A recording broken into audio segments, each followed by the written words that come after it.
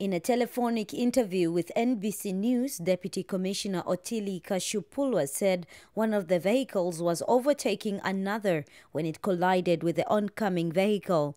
The oncoming vehicle was carrying a family believed to be from Germany. The mother, father, and one of the daughters died on the spot, while the 16 year old daughter sustained major injuries.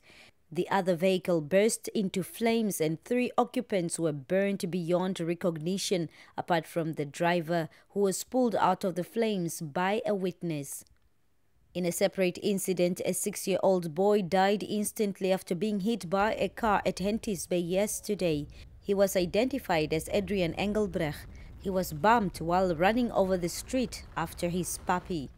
The Deputy Regional Commander Andreas Nelumbu urged all drivers to be cautious and drive within the prescribed speed limit.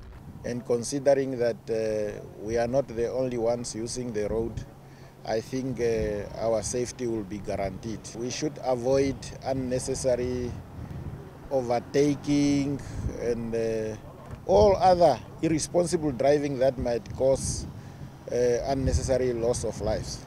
Meanwhile, a local company donated refreshments, torches, and reflect safety vests worth $5,000 towards the Erongo Road Safety Campaign.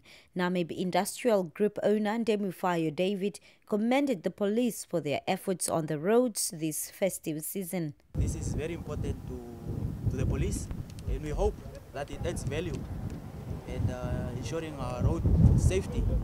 Uh, of our users and our citizens.